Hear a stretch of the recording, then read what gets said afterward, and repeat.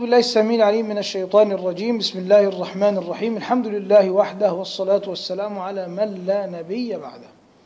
مع كتاب إتحاف الطالب في الفقه على مذهب الإمام الأعظم أبي حنيفة النعمان للشيخ أبي بكر الملا الأحسائي رضي الله تعالى عنه وأرضاه ونفعنا بعلومه في الدارين. أمين. وتوقفنا في المرة الماضية في كتاب الزكاة عند قول المصنف فصل في زكاة المال من غير السوائم. قلنا السوائم اللي هي البهائم التي ترعى ولكن لا تعلف ونصاب الذهب عشرون مثقالا. عشرون مثقالا. والفضة مئة درهم. ولو تبرا أو حليا. طيب هنا بيقول الشيخ ونصاب الذهب عشرين مثقالا. المثقال ده ما يعادل خمس جرامات. خمس جرامات.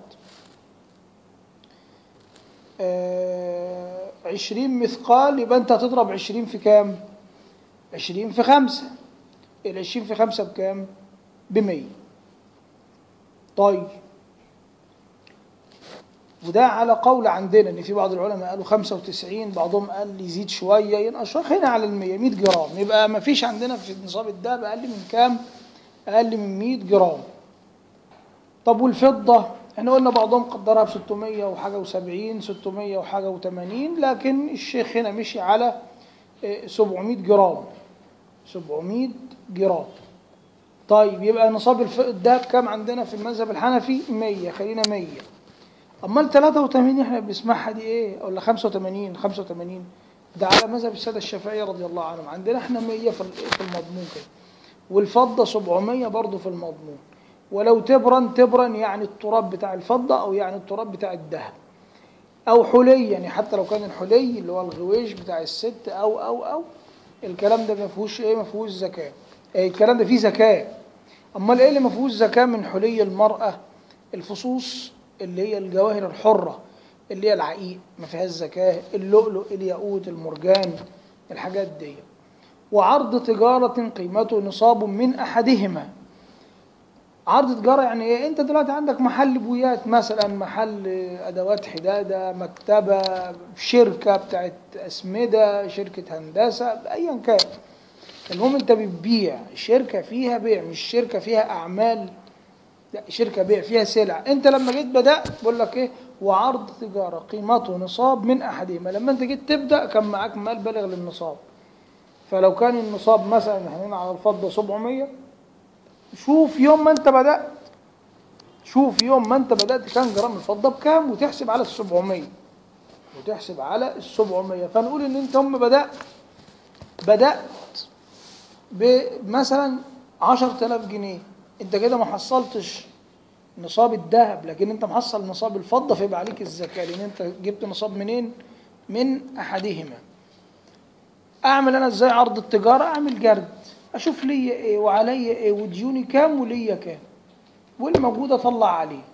الموجود في الخزنة أطلع عليه. بعد ما أطلع أجور العمال والرواتب المتأخرة والديون اللي عليا إذا كان ليا أطلع ما لياش خلاص ما اطلعش. طب لو ليا ديون برة إذا كانت الديون دي تنفع تيجي خرج عليها زكاة ما تنفعش تيجي وخلاص استهلكت أو صاحبها مش ناوي يرجعها لك تاني خلاص لا لا زكاة فيها وعوضك على الله. واللازم فيما ذكر يعني الواجب في زكاة الذهب وزكاة الفضة وزكاة العروض ربع العشر. تقول ربع العشر؟ ماشي. على 1025 ماشي. 2.5% ماشي. المهم إن أنت تطلع إيه؟ اتنين ونص فين؟ في المية. وأنا أعلمك حاجة كده لو حبيت تضرب أي قيمة زكاة تخرجها مظبوطة اضرب في 40 لو عايز تحسب زكاة مال مئة ألف جنيه اضرب في 40 الرقم اللي يطلع لك هو ده قيمة قيمة النص في في المية. تضرب في 40 على طول. وقيمة العرض تضم إلى الثمانين. قيمته تضم للذهب أو للفضة. طبعا ده في التجارة. ثم انتقل الشيخ بعد ذلك إلى فصل في أحكام العشر وقبل أن ننتقل إلى فصل في أحكام العشر برضو أود التنبيه على مسألة كده في الزكاة. أنا قلت في يعني إن مفيش عندنا إحنا أقل من مية. هو ده اللي إحنا خدناه من بعض مشايخنا إلا إن بعض علماء الشام من الحنفية يقولون بإن النصاب 90 النصاب 90 وبعضهم يقول لا 95 ففي كده وفي كده. المهم إحنا بس بنخلينا في الإيه؟ بنخلينا في الأحوط ونعيد تاني مسألة آه، آه، المثاقيل. المثاقيل المثقال خمسة خمسة جرام. خمسة في عشرين يساوي إيه؟ يساوي مية. وهنا إحنا قرأنا بعد ذلك وقيمة العرض تضم إلى الثمانين شرحناها. الشيخ بقى بعد ذلك انتقل إلى فصل يقول إيه؟ فصل في أحكام العشر. إيه ال- ال- ال- العشر؟ هو ال- العشر آه، آه، الشيخ بيقول ويجب العشر في مسقي سماء أو سيح بلا شرط نصاب ونصفه في مسقي دالية. الكلام ده للناس اللي عندهم زرع. الزرع ليه كمان نصاب؟ لأن ربنا قال وآتوا حقه يوم حصاده هكذا من غير تفصيل. فإذا كان الراجل بيسقي الأرض والعلة عندنا والعبرة على السقية المية من علاقة بالمبيدات من علاقة بكذا من ملناش دعوة. إحنا طالما بيصرف مصاريف على السقية يبقى الأرض ديك فيها إيه؟ ما فيهاش زكاة. أما إذا كان بيص- بي- بيصرف. ما بيصرفش مصاريف على السقية يبقى دي فيها الإيه؟ فيها الزكاة. على كل إن إحنا نقول التفصيل دلوقتي واحدة واحدة.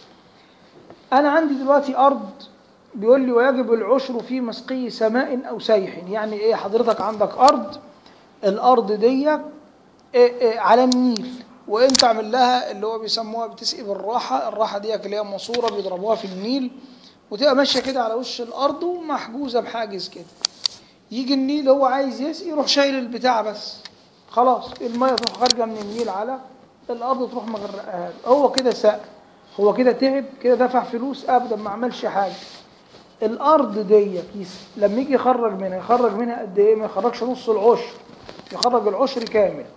العشر كامل. طيب ولو كانت الأرض دي مش قريبة من النيل بس بتعتمد على سقيا السماء يبقى برضه فيها العشر كامل.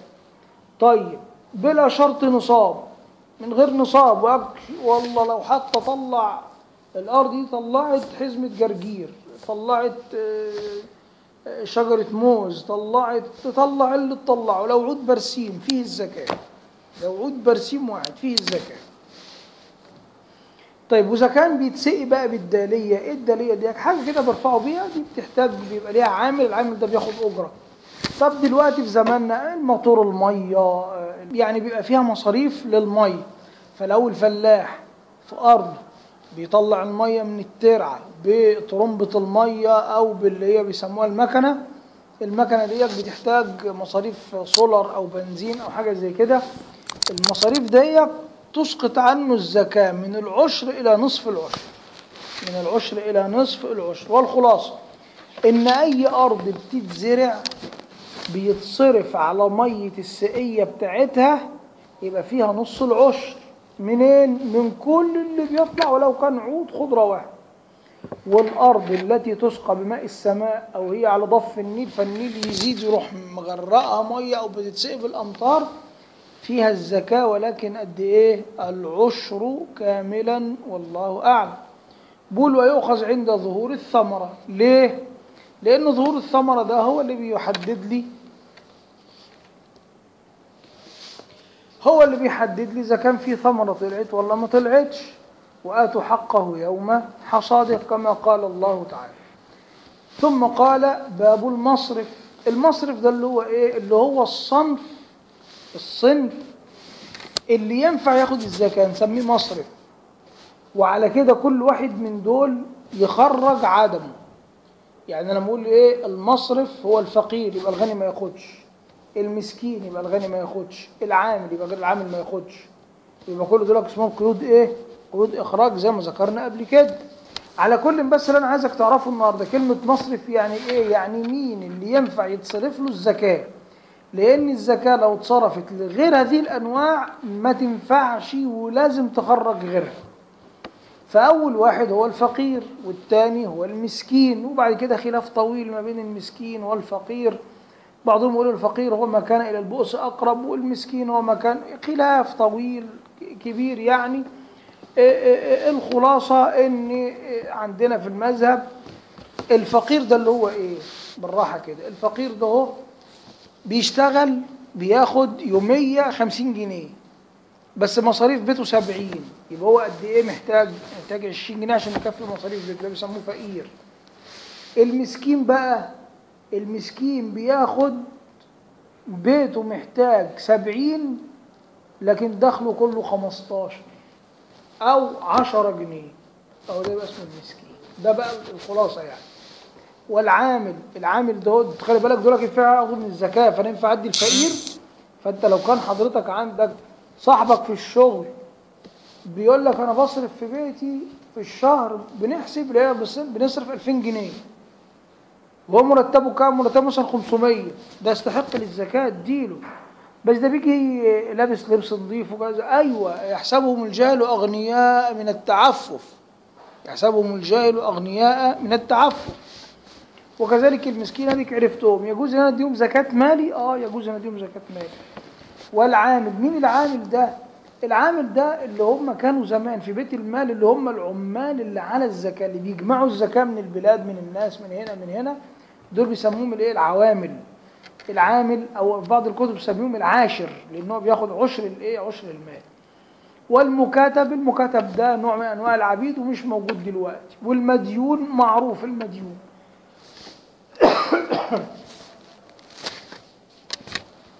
المديون معروف بس مديون أي نوع دين. يعني واحد بيتجوز فجاب العفش بتاعه بالقسط وبيسد في العفش بتاعه بعد الجواز وبيشتغل وبيسد. وده مديون. ينفع أديله زكاة مالي؟ أيوه. بس ده ممكن يكون مرتبه 3000 جنيه. أيوه بس مديون. اديله. بعد ما يسد دينه ويبقى ولا ولا فقير ولا مسكين يحرم عليه الزكاة. وفي سبيل الله في سبيل الله دي بقى إيه؟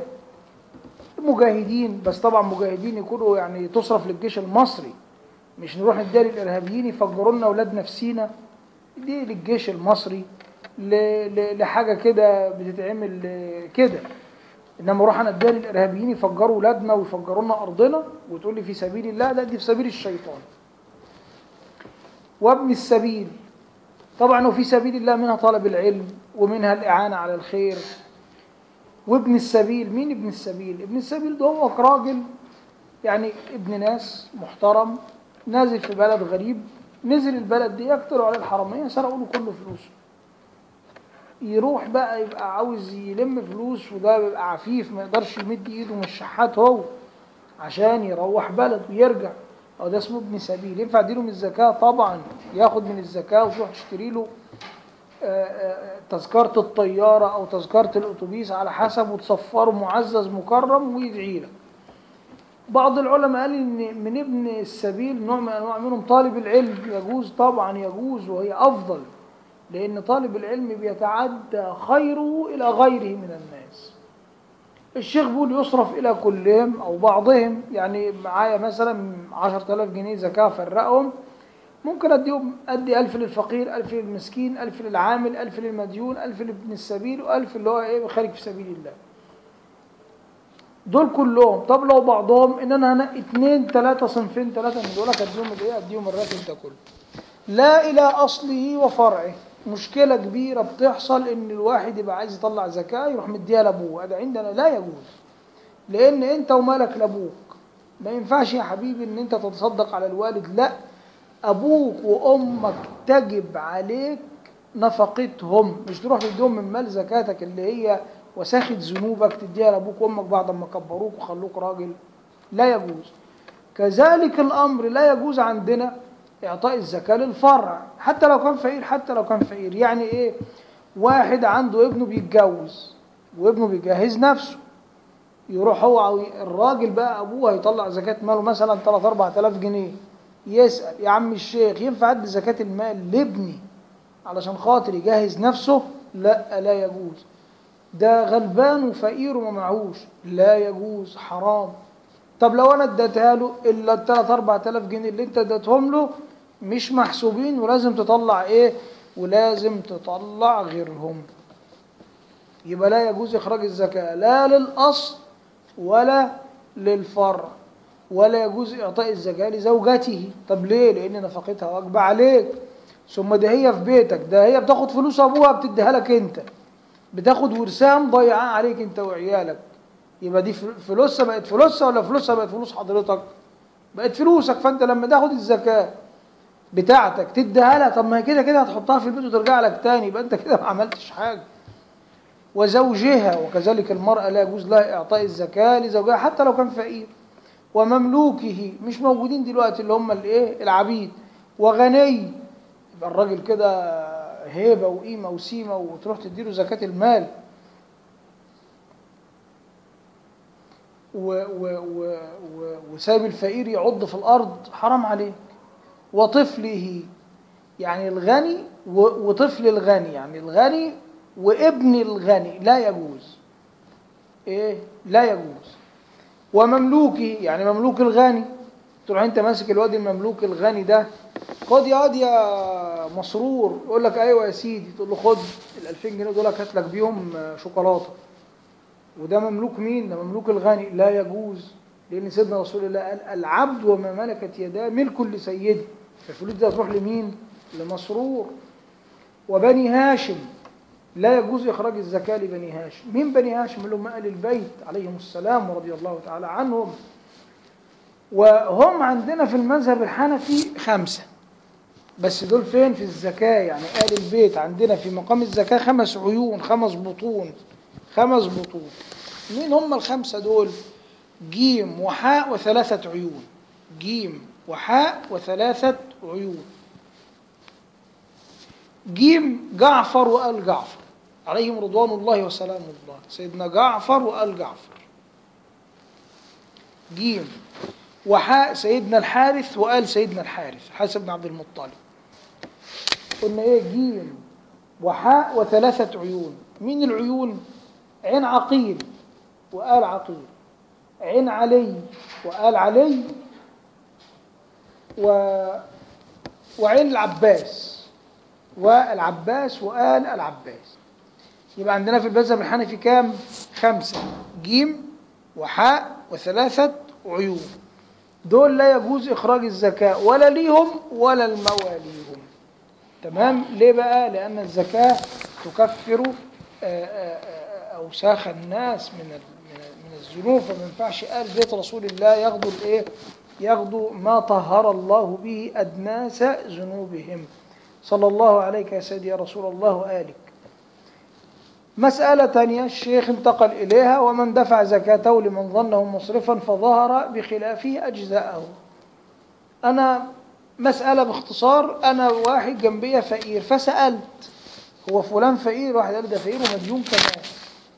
طلع إن فلان ده ولا فقير ولا مديون ده بس هو كده معفن بخيل. فأنا زكاة مال رحت مجمعها أنا ومراتي وبتاع ورحنا مديله مثلا 10000 جنيه زكاة. أو أكتر أقل على حسب يعني. خد يا ابني دولك هات لك بيهم حاجة. بعد ما جبنا وهو زي ما هو بال- بال- بالهدوم المعفنة بتاعته لأن البخيل ده منتن معفن ربنا بيكرهه. زي ما هو بحاجته كده لقينا إيه بعد يومين وإحنا قاعدين واحد بيسأل عليه جايب له إيراد العزبة بتاعته في في شرم الشيخ. مأجر عزبة في الشهر مثلا ب 30000 جنيه. أروح أنا أخد منه الفلوس بتاعتي؟ لا خلاص. أنا ظن ظننته مصرفا وهو ليس كذلك. يبقى أنا أروح آخد فلوسي لا ما تاخدهاش. سيبها وعضك على الله بس بعد كده تفتح وتخلي بالك بعد كده الشيخ انتقل إلى حكم اسمه حكم نقل الزكاة. إيه نقل الزكاة؟ ان أنا إلى من مكان لمكان. وكره يعني كره تحريما نقلها إلا لقريب يعني ما لهاش من بلدي لبلد تانية إلا لو كان قريب وبالذات لو كان إيه صلة رحم أو أحوج. أحوج يعني إيه يعني أهل البلد التانية محتاجين أكتر أو الحالة اللي أنت هتودي لها الزكاة ديت فقيرة أكتر من الحالات اللي عندك. يعني مثلا هتدي الزكاة بتاعتك في بلدك لواحده آه، يتيمة أو مثلا أرملة ومعاها ثلاث أولاد. وهتوديها في بلد تانية لواحد والعياذ بالله ب... ب... عنده الكبد وال... وال... والكلى وال- والدنيا بايظه عنده كم عيال مين أولى؟ لا التاني أولى. التاني. لأن التاني ده مثلا ممكن يكون حد بيديها. والمسألة دي متفاوتة محتاج بس إنك تعمل عقلك وتشوف ربنا يهديك لإيه واعمله. ولا يسأل من له قوت يومه. يعني اللي عنده قوت يوم ولا يسأل عن الزكاة ولا تسأله أنت عن إيه؟ عن الزكاة. ثم قال باب صدقة الفطر. آه، باب صدقة الفطر ناخده دلوقتي حتى لا نطيل يعني إن شاء الله مش هنطول عليكم. حتى ننتهي من باب الزكاة في هذه الحلقة كاملة. بيقول إيه؟ تجب على حر. النقيض إيه؟ إخراج. أخرج مين؟ حر. أخرج العبد. مسلم. أخرج الكافر. ذي نصاب. يعني إيه ذي نصاب؟ يعني اللي يجب عليه زكاة الفطر هو واحد معاه مال بالغ للنصاب وعلى ذلك فلو كان حضرتك ما معكش مال بالغ للنصاب لا يجب عليك إخراج زكاة المال لا يكون معاك نصاب فضة ولا نصاب ذهب. يعني ولا معاك 100 جرام على الخلاف اللي قلناه ولا 90 ولا 95 ولا إلى آخره ولا معاك 700 جرام فضة. تمام كده؟ فإيه؟ فأنت عشان تبقى واجبه عليك لازم يكون معاك إيه؟ معاك مال بالغ للنصاب. مش بقى كده بقول لك ما بتخرجهاش. أنا عايز أقول لك هي إمتى تكون واجبة وإمتى مش واجبة؟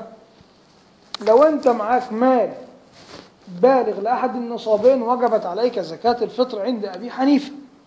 طيب وإذا ما كانش معاك مال بالغ للنصاب بس أنت معاك فلوس طلع زكاة الفطر لانها بتكون كام بالفلوس؟ ده على حسب أسرتك بتبقى حسبة 30 40 جنيه مش أمر يعني. بس إحنا بنتكلم في الوجوب. يجب إمتى؟ لو معاك مال بالغ للنصاب. طب لو معكش مال بالغ للنصاب؟ لا تجب عليك وإذا ما خرجتهاش صيامك صحيح صيامك صحيح. فاضل عن حاجته الأصلية اللي هي الحاجات الأصلية اللبس والأكل والشرب والنوم والمصاريف عن نفسه وطفله الفقير وعبده لخدمته لا عن زوجته وولده الكبير. يعني يكون المصاريف اللي معاك دهيت فايدة عن حاجتك الأصلية بس مش عن زوجتك لأن زوجتك نفقتها واجبة عليك وولده الكبير لأن ابنك الكبير لا يجب عليك وهي مقدارها نصف صاع من بر نص صاع من بر طبعا إحنا يعني إيه بن بنختصر ال ال الكلام نص الصاع بالتقريب القريب قوي يعني كيلو و820 جرام. فإحنا بنقول 2 كيلو تقريبا اللي هو الإيه؟ الصاع. تقريبا 2 كيلو نقول 2 كيلو. نص إيه؟ نص صاع. البر اللي هو القمح. فأنا لو أطلع من من من من الحبوب يبقى إيه؟ نص صاع يعني 2 كيلو قمح. أو ولما نقول إن هو 2 كيلو تقريبا يبقى إحنا بنقول تقريبا 2 كيلو لكن هو على كل ال- ال- ال- الصاع 3 كيلو 640 جرام. يعني 3 كيلو قولوا 700 يعني 4 كيلو كده ما إحنا الشعب المصري بحبوح حلو. يعني 4 كيلو. فأنا لما أجي أطلع من البر أطلع نص صاع بس. يعني حوالي 2 كيلو من القمح. لو جيت أطلع من التمر أو من الشعير أطلع صاع كامل يعني أربعة كيلو تمر أو أربعة كيلو شعير. طب عندنا دلوقتي الناس لا بتتعامل لا بالبر ولا بالشعير والكلام ده الدنيا اتغيرت يجوز عند أبي حنيفة وغيره وغيره. إخراج مال. وعلى فكرة عندنا في المذهب الحنفي ينفع تخرج فلوس ينفع تخرج غير فلوس. يعني مثلا انت عارف انه فلان ده هو لو انت اديته فلوس هيروح ياخدها ومش هيجيب بيها حاجة لعياله. وعارف لو انت اديت له حبوب هياخدهم يبيعهم وي وي ويجيب فلوس ويشتري بقى حاجات كده محرمة. طب ينفع ان أنا بنته اللي أنا عايز اديهم الفلوس علشان خاطر تجيب لها طقم؟ ينفع ان أنا اخد البت ديك أو الولد الصغير ده واطلع بيه على على السوق أو على المكان بتاع الملابس؟ أجيب له بيه هدوم آه يجوز عندنا هذا. يجوز إن أنا أشتريها على قد وأروح اديها له ما في عندنا مشكلة. مذهب الحنفي مذهب سهل وجميل و و و وسهل على الناس. فيجوز عندنا إخراج القيمة بالفلوس أو يجوز عندنا إخراج القيمة بأي حاجة تاني. فينفع إن أنا أجيب ال- ولاد أخويا مثلا والعياذ بالله. محتاجين الصدقة ربنا يعافينا وإياه. محتاجين الصدقة مثلا يعني. بنتكلم على أي حد. ينفع إن أنا أروح بدل ما أديهم فلوس إن أنا أجيب لهم آه، أديهم آه، ملابس؟ ما فيش أي مشكلة. أخوك أخويا بقى أي حد إحنا البواب اللي عندك أي حد. كلام عام يعني.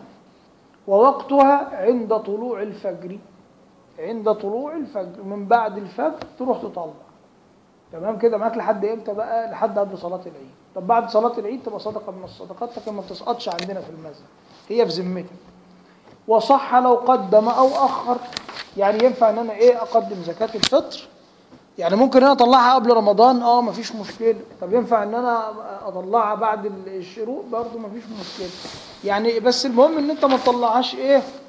آه، آه، ما تطلعهاش بعد صلاة العيد. ليه؟ علشان خاطر آه، يعني ما يفوتكش الأجر الإيه؟ الأجر الكبير. طب لو طلعتها بعد. بعد صلاة العيد ما هي صحيحة برضه. هي صحيحة وهي كده كده على كل إن هي صدقة من الصدقات بس بيكون أجرها لما تطلعها قبل صلاة العيد أعلى قبل صلاة العيد أعلى وبيكون هي كفارة إيه؟ كفارة للذنوب. لكن على كل عندنا في المذهب يعني يعني متجاوز فيها شوية حتى لو خرجتها بعد العيد بيوم ولا اتنين ما أقولكش مش مشكلة. لا يعني أنت برضو خرجتها وتؤجر عليها وإن شاء الله في ميزان حسناتك بس أنت فعلت إيه؟ فعل غير الأولى غير الأولى. وثم قال باب الصيام نتوقف عند هذا القدر وصلى الله وسلم بارك